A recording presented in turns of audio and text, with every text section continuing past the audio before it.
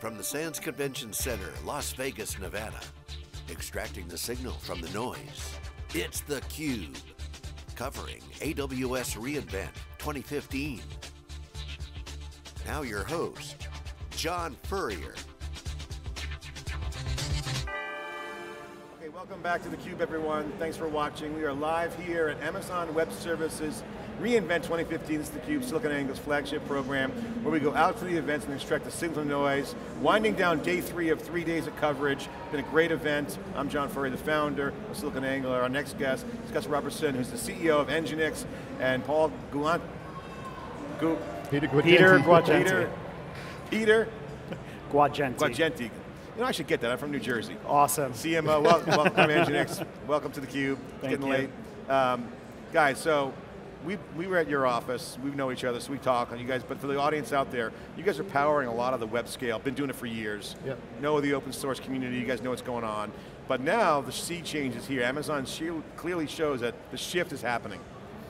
And real adoption in the enterprise, guys who are running production environments are looking at the cloud as an alternative to their other infrastructure from a cost saving standpoint, right? So you guys are going to be impacted by that, your ecosystem partners. What's the strategy? How do you guys look at that? Obviously, you got to ride that wave, right? You don't want to roll into the path of AWS. They're trying to make things easy Yep. and encapsulate a lot of the, the complexities around their technology, but there's an opportunity around that. What's your strategy? Well, I'd say from, from, from our standpoint, I think we were one of the instigators of helping people move to the cloud. Uh, Nginx is, you know, as you know, we have 140 million sites globally that use our software. Uh, we have almost 50% of the busiest sites in the world. Um, many of the brand names you know, like Netflix, Dropbox, Hulu, Pinterest, Living Social, many of those are running on the cloud and Amazon, and many of them architected their application with Nginx at the core, right? If you look at when you want to run a web scale architecture, particularly on the cloud, uh, you, you know, the large guys are using the microservice-based architecture, and the way that you interlink those architectures is through HTTP, which is Nginx, right? And so I think we've been at the forefront of cloud for many years through our, our open source user base, and now we're able to help our enterprise customers that are moving from the data center into the cloud with their web scale apps. Peter, talk about the dynamics that you guys have to market to now. You're seeing things like Facebook dominating, it's got a walled garden, Twitter's rebooting, um, Google just announced a mobile version of their thing. So Yeah. diversity of traffic is now an issue, right? So how do you guys handle that? Uh, is that part of the equation? Now you got APIs as well. You got services, I just interviewed Console, you know those guys, Yeah. Direct Connect. Yeah. All kinds of new dynamics and connections thus traffic Yeah. has to be handled. How do you guys, how do you guys uh, deal with that? How do you market that? And our customers are are aware of this. You know, that stuff doesn't really affect us personally. You know, we are, if you think about Nginx, think about us as, a, as an arms dealer in that war more than, more than a participant, right? But I think what you're seeing there is, you know, we've got some really large players who are trying to control the flow of information and the, the control of channels. But at the same time, they're figuring out that people want content in more snackable forms. They want more uh, diverse ways of getting to those experiences. They want to be able to get them through mobile device in a very specific way, through set-top box in a very specific way. And you know, I think that's driving a lot of the requirements for our products. It's, it's driving a, a wholesale shift to microservices, more API-driven experiences, and those are putting a lot of pressure on developers to really think about, well, how do I make this stuff more accessible so I can very quickly move and adapt to these new experiences, and then, you know, how do I scale those things? Because the, the behaviors and the patterns that we've built up over years building sort of monolith applications which you access through a web browser don't really apply in a lot of the modern world. Well, you guys, that's where you guys have your bread and butter is scale. Right. You guys really do well there. It Yeah. knows your t-shirt, uh, it's got your name on it, but it says the secret heart of the modern web. What is the modern web? You know, we, I've, I've been in web development since 95, so I feel like I've seen multiple sea You're the modern plus web now. I, modern, modern web. I mean, every, yeah, but no, but seriously, what is today's world? Uh, you know, Cloud? modern, modern web means a lot of things. It's a, it's a phrasing we use to describe a, a sea change that I feel like has come up in the last five years. The shift to microservices, the shift to continuous delivery. You know, you, you, it used to be if you did a release every six months or every three months, you, Yeah. were, you were rapid. Now it's every six hours, right? Um, modern web to, to us really represents a mobile first web, a, a distributed digital experience that could be in any device that you use. Um, and really represent a new culture and pattern of behavior for developers, frankly, right? Uh, it is cloud first, yeah. it is continuous delivery, it is you know, decentralized microservices, all of those things. And if you look at the Nginx adoption, you know, we have he the heaviest adoption among those folks who are really defining what the modern digital experience looks like. Containers, dealing with Everything. microservices, orchestration, yep. that's DevOps. It is, and you know, it's been the evolution of DevOps all along, right? I, I look at it and say, this all has been a snowball that all started. No pun with, intended. Uh, no, actually, yeah, no pun intended. Uh, no, it's snow. not a big piece of hardware. It's actually all digital. Um, it, has it, been a it's been, there's been momentum really building around this concept that started with the C-suite really figuring out that digital mattered, and the pace of innovation was what was going to drive a business forward, right? So started with continuous integration, moved into continuous delivery, moved into the adoption of cloud, moved into the adoption of DevOps because that was the easiest way to make sure yep. all this stuff worked. Now moving into containers, you know, it's a it's a fundamentally new world that's all about how quickly can I innovate because it's innovate or die. So when you talk about DevOps, I want to get your take on this. This is something that we love. You know we love DevOps. But mainstream America, if you will, they scratch their head. DevOps is becoming mainstream now, and you're yeah. seeing it here. I mean, to me, this is like a, a validation of DevOps. I mean, Amazon completely yeah. validates that whole movement, the whole mindset. You mentioned culture, so it's also culture, infrastructure as code, shipping all the time, pushing stuff. Amazon's pushing so much features every event. Amazon reinvents like, oh my God. So is it hitting mainstream? And are you guys seeing that? Because you're bumping into the mainstream every day. Are they DevOps now? Is it they calling it something else? What what can you share? Any color? For me, I, I mean, I just met with a customer maybe two hours ago over coffee, and uh, he said he came to AWS two or three years ago when he first, no, three years ago he first started coming, and realized that DevOps was what they needed to implement to be successful. Um, he took that back. They've now implemented it. Um, he's actually the catalyst within the organization driving the DevOps culture. And I was asking him specifically, you know, what was it that you know, what were the difficulties? Was it the technology or was it more cultural? And he said, absolutely, it's cultural, right? It's trying to get the teams to work together. It's trying to, uh, you know, re-engineer the way they're working. And so from a, um, I think, and, and, and they're a 300 person company, right? They're not, you know, a large They're not monolith. massive, but that's right. still a lot of people still. Right. They don't, but they're not big budget. They're not like a billion dollar IT budget. But DevOps is still important to a company yeah. of 300 people. And so I think it's definitely going mainstream. Definitely going mainstream. And cloud native, um, is also a term that's now kind of been mainstream in the, in the tech elite community in the DevOps world. Mm. That seems to be going app driven. So the apps are driving this now, yeah. it's pressure from both sides. Absolutely. Yeah. I mean, that's a new phenomenon. I mean, cloud native is basically like a mobile first concept, but it does mean something. What, what is, what's your take on what does it mean, Peter? You know, cloud native to me really represents more big, high concept, right? Cloud native means software based. It means elastic. You know, it means immutable infrastructure. You know, it's really cloud native is more behavior and process and the way of approaching the build more than anything else.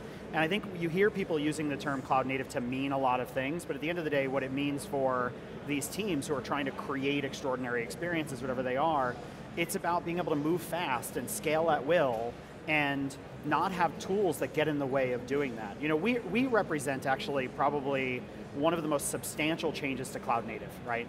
We focus on application delivery. We, we focus on performance, reliability, security, and scale of an application.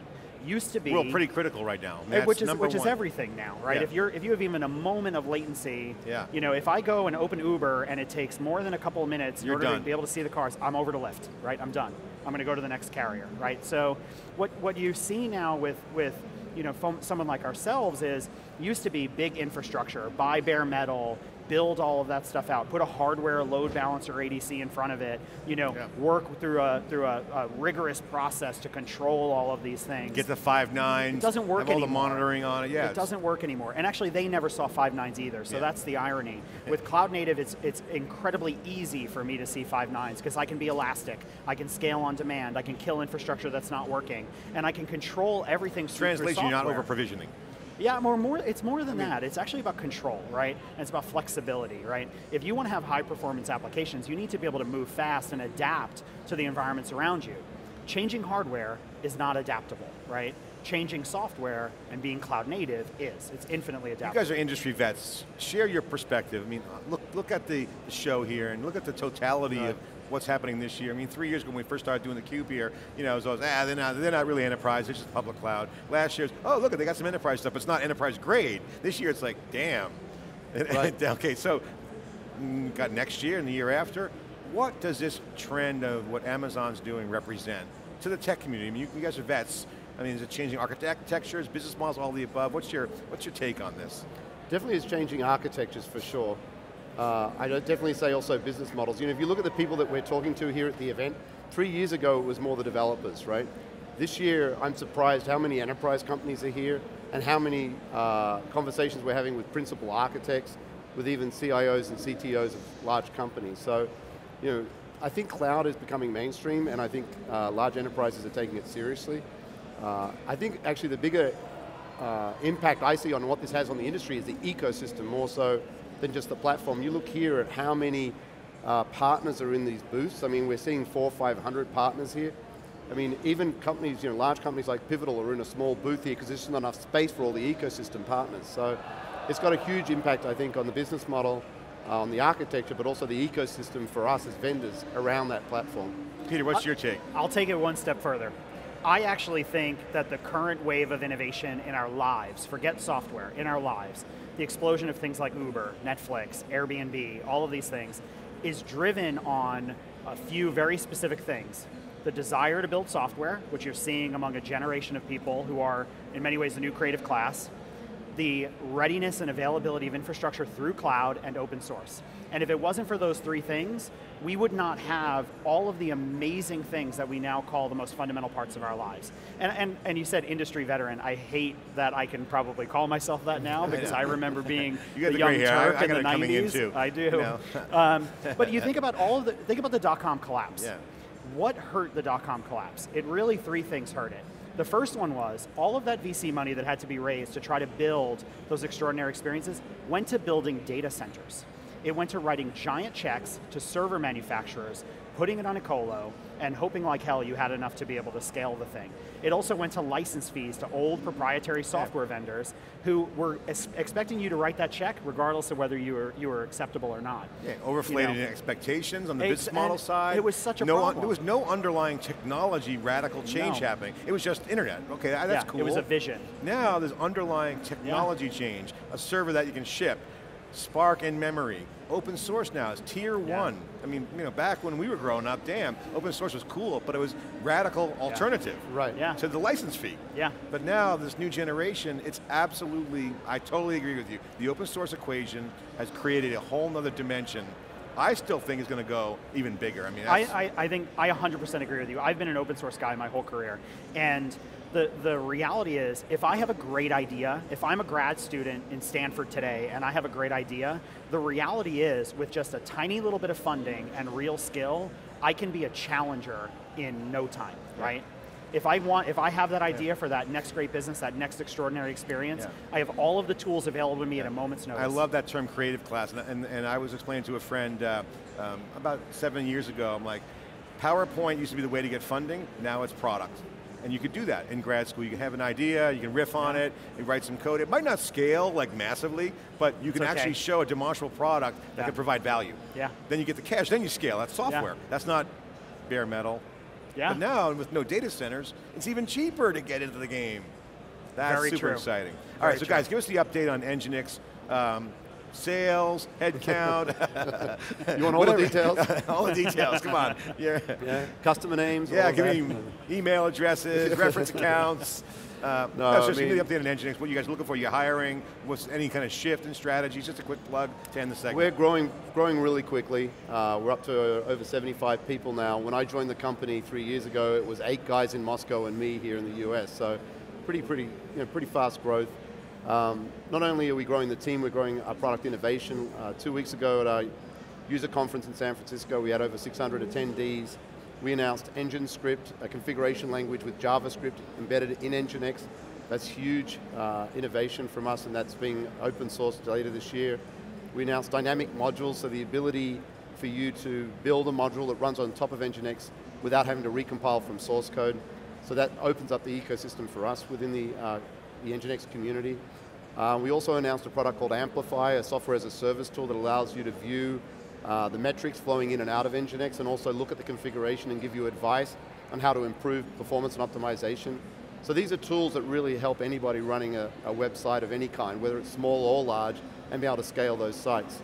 So uh, we've been focusing on growing the company, growing the, uh, the product and innovation, um, and you know, we're doing shows like this. We've had over 2,000 people to our booth in three days, a thousand of which came in the first two hours of the event being You guys open. get a lot of word of mouth, obviously.